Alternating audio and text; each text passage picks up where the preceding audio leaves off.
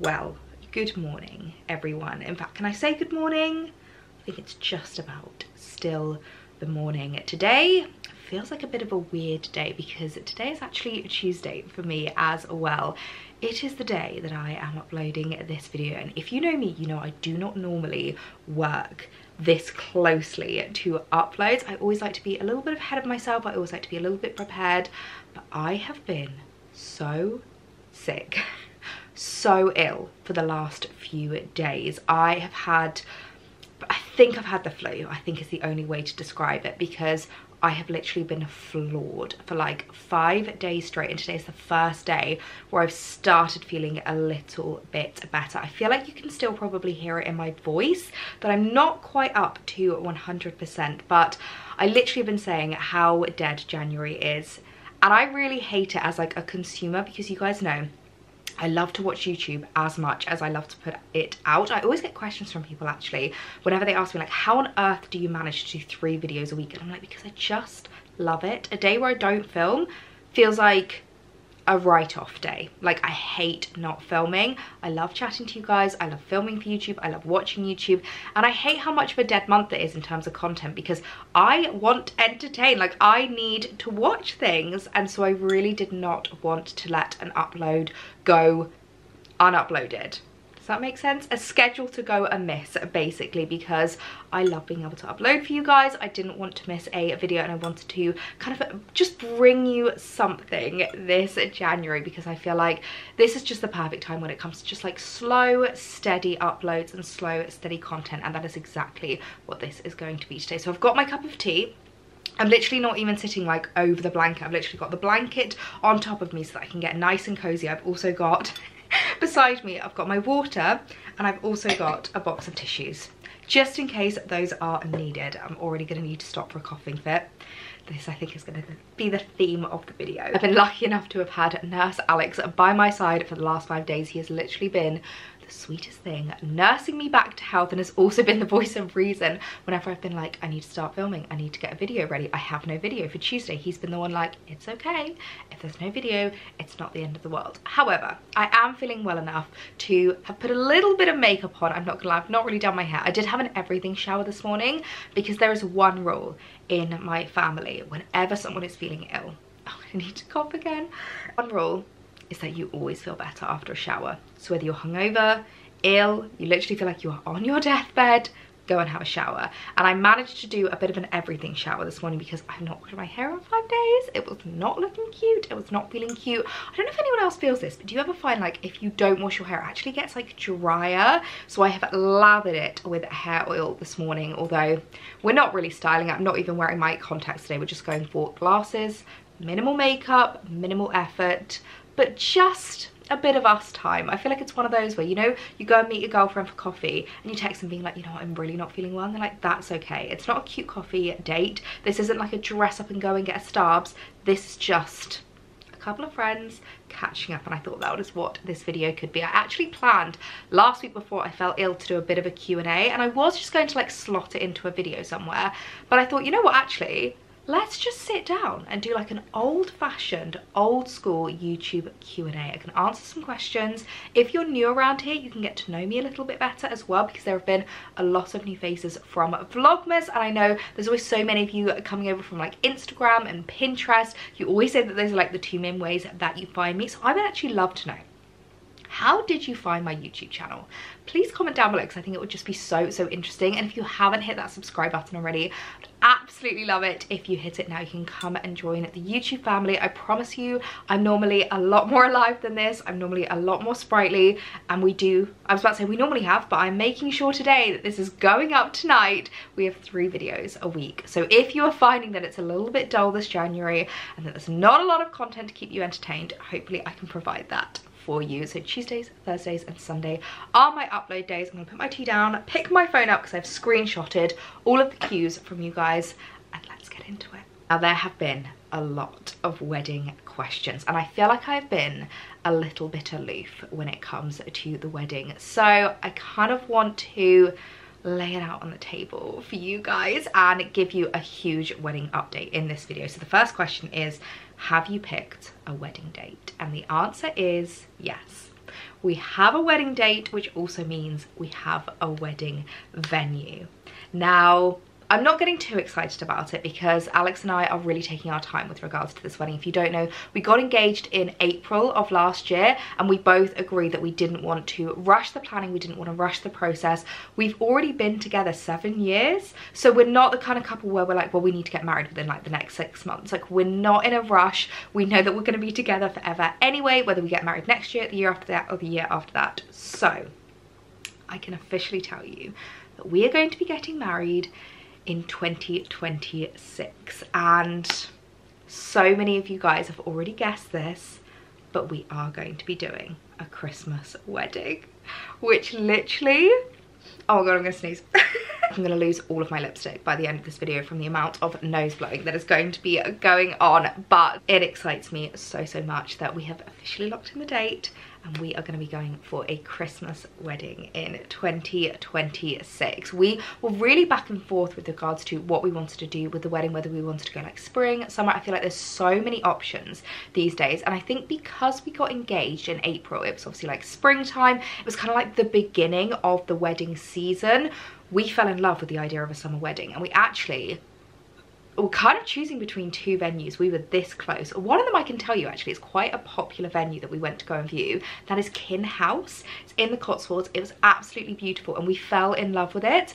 But there was a couple of things that kind of put us off it. There was a couple of things that we were like, that's not quite perfect. That's not quite perfect. A big thing about it as well is that it's the kind of venue that like you need sunshine. It needs to be beautiful and bright and sunny. There's a lot of like outdoor space that i feel like would just go completely to waste if you didn't have nice weather. And like even like to walk from different areas of the venue you'd need to go outside. And there was quite a few times where we were like so what's the contingency plan? And they turned around and went umbrellas which I feel like if I'm going to go for a summer wedding, I would want it to be beautiful sunshine, beautiful weather, and I just feel like you can't guarantee that here in the UK. The other thing that kind of put me off Kin House, and I feel like this is a bit of a niche one, is the fact that there have been so many influencer events there recently. I can literally count on one hand how many there have been in like the last year that I have seen at Kin House. So I feel like by the time my wedding had rolled around, I would have been bored stiff of it. I would have been like, I have seen this on everyone's Instagram already and I'm not excited to get married there anymore. So that was what kind of put us off. Um, there was another venue that we were this close to booking, but again, it was the kind that didn't really have much a contingency. If it rained, it was like you were just stuck in this one location. So we were back and forth for ages and it wasn't until it kind of started reaching October time that I turned to Alex and went, maybe we need to reconsider a Christmas wedding. So we started viewing a few venues around that period and there was one the second we walked in we both just fell in love with and we knew it would work so perfectly for a magical Christmas wedding. And when it comes to like our personalities, the main thing that I really want when it comes to this wedding is that people are gonna walk in and be like, yeah, this feels like Ellie and Alex. Like, if you were to remove us from the wedding, you would still be like, no, no, no, this is an Ellie and Alex wedding. And I feel like Christmas sums us up with that perfectly. You know how much I adore Christmas time. Alex personally isn't really much of like a summer guy. Despite the fact that we go on a lot of holidays, we go abroad a lot, he really doesn't like the heat, which is really funny. Like he struggles with the heat a lot. I think his body, like in the way that mine struggles to self-regulate when I'm cold, his struggles to self-regulate when it's hot. So I knew that he would be really uncomfortable standing there in like a three-piece suit if we were in like 30 degree weather he wouldn't be comfortable and i'm gonna cough again honestly i feel like this video might just do me over but yes we both kind of agreed that we are just more wintry slash Christmas people. We have never actually attended a Christmas wedding ourselves either and we have a lot of family. We are both the youngest in our families so we have been to so many weddings. I've lost count of how many weddings that I have been to and there's so many we, we've been able to kind of cherry pick what we like liked from them so we've been like that was amazing definitely copying that really love that they did that definitely going to utilize that in our own wedding but one kind of theme that we noticed is that no one was really doing a Christmas or a winter wedding and I know that's not to say that like no one does them but I just feel like they're a lot less common and a lot less I want to say mainstream but it's just a little bit different and it feels really really us. So i'm not going to be saying where we're going to be getting married and i'm not going to tell you the exact date but i can confirm we have a date we have a venue and we are going to be getting married christmas 2026 I'll keep all of the wedding questions like together because they all kind of lead on from each other. So the next question is what is the vibe for the wedding? And I feel like going for a Christmas wedding is pretty obvious. It's gonna be beautiful and Christmassy, but not in like a gauche way. I'm not gonna be having like Santa Claus at my wedding. It's very much going to be, actually, do you know what I might do? Where do I have that? I've got a mood board that I made Okay, hang on, let me go and get it. So if you guys have been following along since summer, let me just get the blanket back over me. If you've been following since summer, you might remember that I went on a beautiful bridal press trip to Italy. And this was before we decided we were going for a Christmas wedding. This was before we really knew exactly what we wanted. And I would definitely recommend if you're in the process of planning a wedding, do a mood board. And I love the fact that we did like an old fashioned scraps of like magazines you know like things like that. We literally tore out pages from magazines to do this mood board. And because it was like obviously it was September but in Italy it was very much summer. And everyone else there were really bringing in those kind of like summery bright light tones. And I really surprised myself with what I created with this mood board. And everyone literally turned to me and went whoa that's really grungy. That's not really the word I'm looking for. Grungy is not the vibe that I want for the wedding, but just kind of like dark, beautiful, ethereal. Those are the vibes that I want with regards to my wedding. So in answer to your question, this is the vibe of the wedding. And this was literally decided for us essentially because this was something that I created in the moment. I didn't even know that I wanted. And as I'm looking at this now, especially with the venue we've booked, I'm like, yeah, yeah, yeah. It's one of those like a universe aligning moment. And when Alex saw this as well I literally had to bring this home in my suitcase because I sent him a photo and he was like oh my god that is amazing. You have literally nailed what we want in a wedding. So as you can see there's gonna be like loads of beautiful twinkly lights. Like I do want a lot of like wildflower. I feel like with regards to Christmas trees and stuff there will be an element of that but it's not gonna like completely overrun the venue. And it's not gonna overrun the theme. It's gonna be more about like the beautiful twinkly lights the beautiful kind of like ambiance um and like timelessness and classicness is what we're going to be looking for. So vibe of the wedding, I would definitely recommend doing this if you are starting to plan a wedding because this has honestly helped us out so, so much when it came to knowing what to book, knowing what we want to do and knowing exactly the vibe that we are looking for. Next question, what's your bridesmaid sitch? So I haven't actually officially asked them yet, but I am going to be doing, I think, like some bridesmaid boxes and I'm going to be doing um, like little proposals for them. However, I feel like they pretty much know that they are going to be my two bridesmaids. So I'm going to have two people in my wedding party, my maid of honor and a bridesman. So I'm actually going to have my brother and my sister in my wedding party. My sister is going to be my maid of honor. You guys probably know I'm her maid of honor currently and I'm just loving being a maid of honor. I actually think it's more fun than being the bride. Really, really enjoying it. So my sister is my maid of honor and my little brother is going to be my bride's man.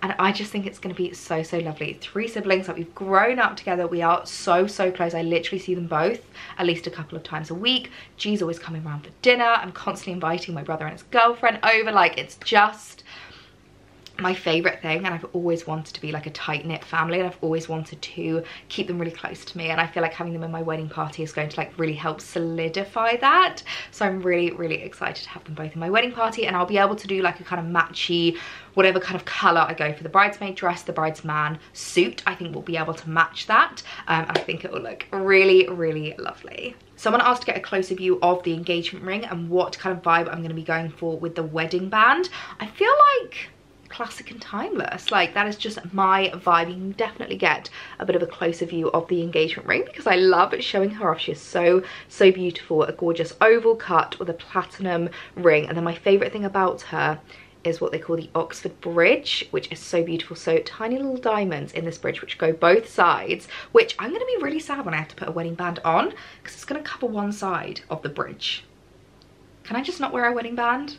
Probably not. I think that's really bad luck. Um, but yes, Alex and I definitely want to go for matching wedding bands. I always think it looks so, so lovely when you are completely matchy-matchy with your partner because he feels really left out not getting a ring. He constantly says to me, like, everyone knows you're engaged. Nobody knows I'm engaged unless I, like, actively say my fiance or, like, my partner. Um, so yeah, I think we're going to go for matchy wedding bands um, in platinum. But yeah, there's a close-up of the ring for those of you who asked. Okay, last wedding related question any plans for your hen do. Now, this is one that I have really gone back and forth with and thought a lot about, partially because being my sister's maid of honor, I'm currently planning her do. And I am really not a typical hen do gal. So many of my friends have already been messaging me like, oh, are we gonna do Ibiza for the week? Oh, are we gonna go to Malaga for a few days? And I am just not that kind of gal. I think my hen do is probably gonna be one of the most pared back, simple hen do's you could ever, ever ask for.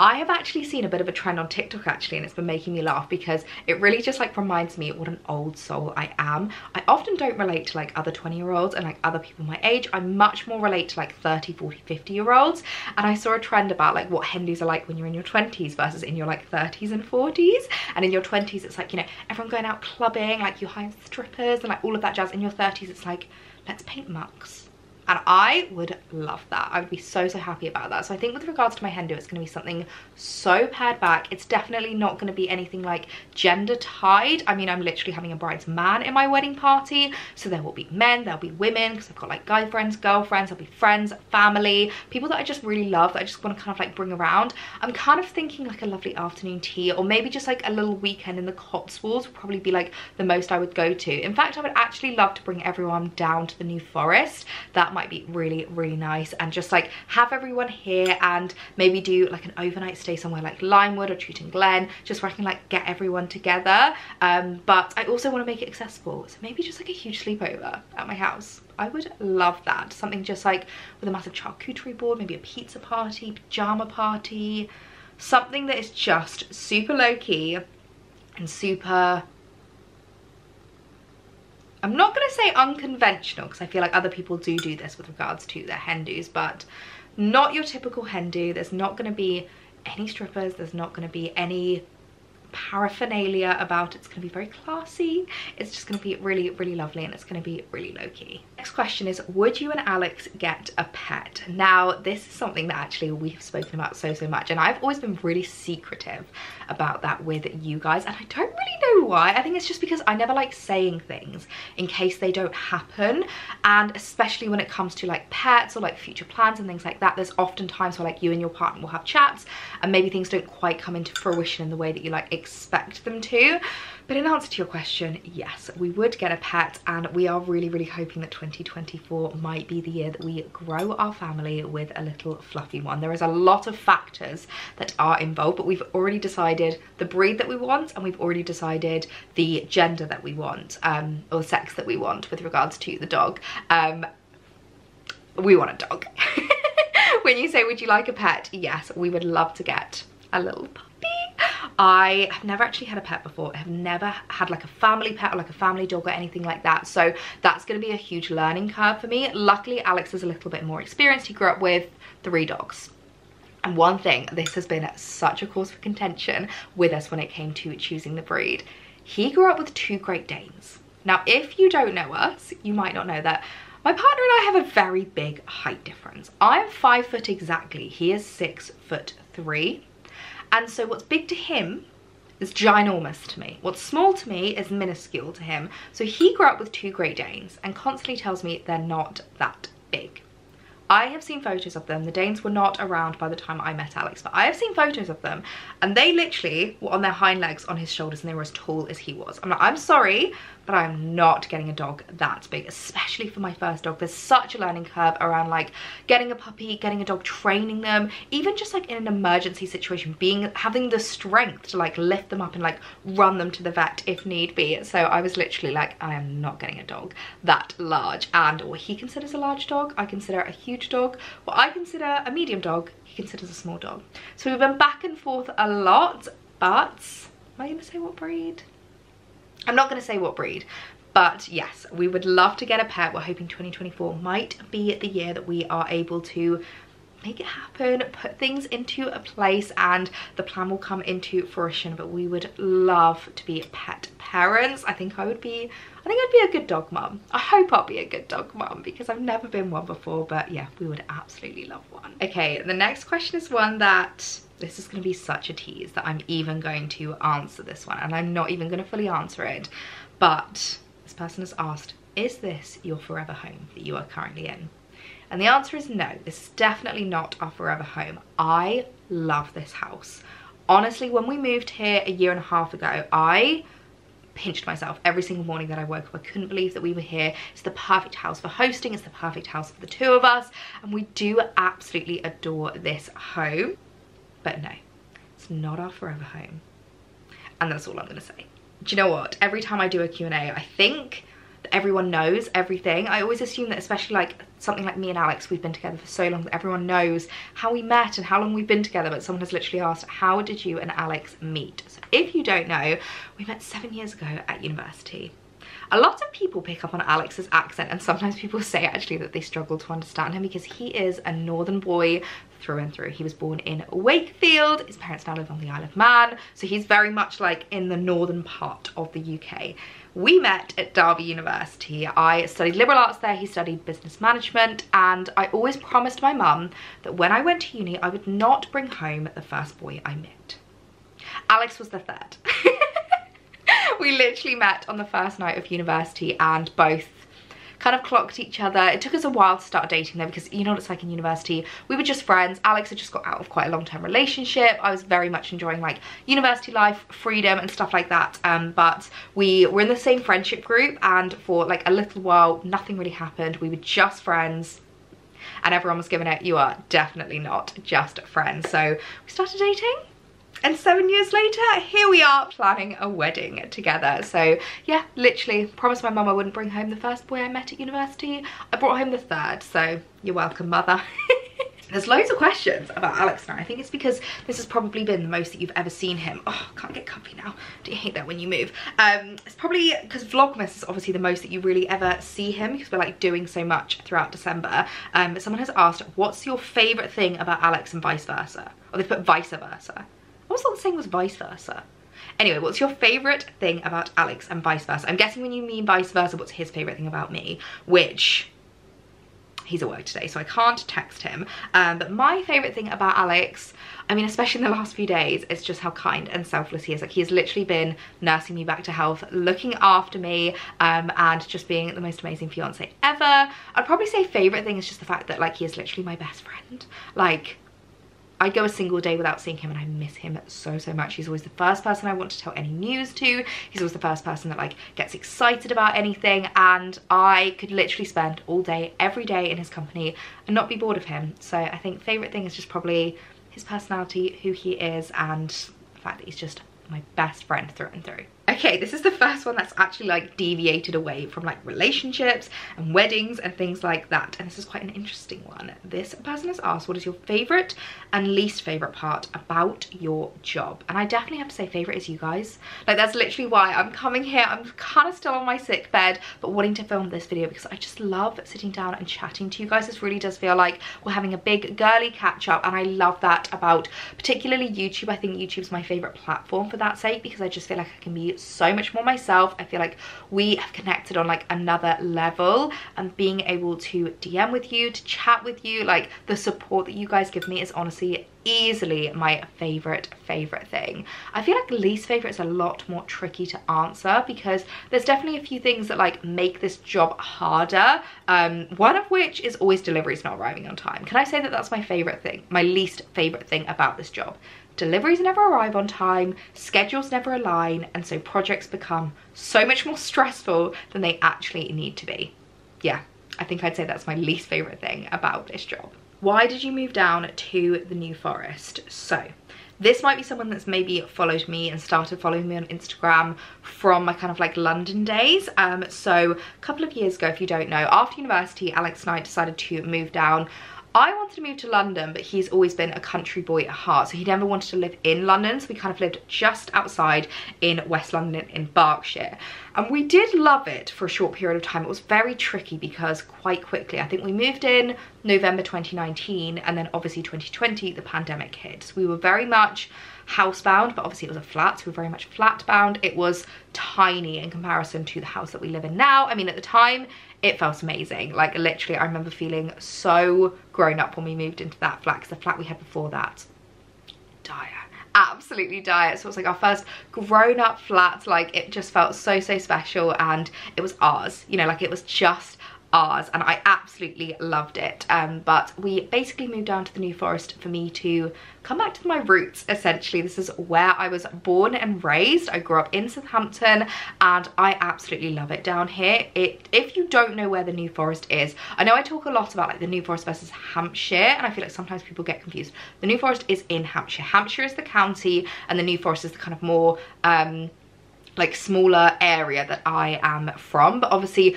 I kind of spread out around Hampshire a little bit. I love going to Romsey which isn't in the New Forest. I love going to Winchester which isn't in the New Forest but they're all within Hampshire. So Hampshire is literally right on the coast. It's like bang in the middle. I never know if we're like south west or southeast because when it comes to trains we're southwestern but then whenever it comes to the weather we fall under southeast so we're pretty much bang in the middle of the UK in terms of like the geography. Like we're not really west or east, but we are right on the coast. So we have very mild weather. In fact, it did actually snow yesterday and it has literally been the first time that it snowed in Southampton I think about four years. I know everyone had snow November of not technically last year but 2022 I think there was also snow like a couple of other years ago we've literally never see it because we are so close to the sea that it's usually a little bit warm here. It's also maybe like a one or two degrees warmer than usually like the rest of the UK, which I love. They actually call it sunny Southampton, which I kind of love because it really is so much nicer in terms of like the weather here. Whenever we go and visit Alex's family up north, I always forget how much colder it is. Literally just traveling like a couple of hours up. There's like a three, four, sometimes five degree temperature difference. It's absolutely mad. Um, so in answer to your question, we moved back down basically to be closer to family and to kind of like settle roots down here because we just want to live the rest of our lives here. We kind of moved west of London to help progress our careers. Why could I not get that phrase out? We moved to London initially or just west of London to progress our careers, to kind of like move forward with our lives. Um, and I feel like every 20 something needs to like do that. Um, but I do feel like when you're kind of like ready to settle down, ready to like create more of a life together, you want to be somewhere that's like a little bit more permanent. So this is basically where we want to spend the rest of our lives, where we want to get a house together, where we want to be closer to family and eventually way down the road start a family of our own. Um, so yeah, moved down here to basically carry on our lives together and I love being down in the New Forest. I honestly consider myself like a New Forest vlogger. I love being able to like show you around. I'm definitely planning in 2024 of doing a few more like New Forest and kind of Hampshire guides so that I can show you a little bit more around like some of the villages, why it's so, so beautiful, why you need to come and visit. I've had so many of you message, like I went to Limewood House because of you. I stayed at Chewton Glen because I saw it on your stories. Like I love it when you guys do that and I want to continue doing that for you and continue being your resident and New Forest blogger with all of the info that you need. So if ever you have any questions, if ever you're thinking about coming down and visiting, feel free to message me, feel free to comment on this video or leave me any questions that you would like to know. And on that note, I can literally hear my voice getting more and more hoarse as this video is going on and there is a few other questions that I didn't answer but I'm hopeful that this was a really good introduction to me if you've just met me but also just like a really good life catch-up. I feel like we have covered everything like weddings families life home house updates like so many updates. So i really hope you guys enjoyed this video. Make sure to hit the like button if you did and hopefully from thursday onwards we will be back to usual chirpy ellie usual smiley me with high energy high vibes I will have completely kicked this illness into touch. So I will see you guys in Thursday's video. Bye!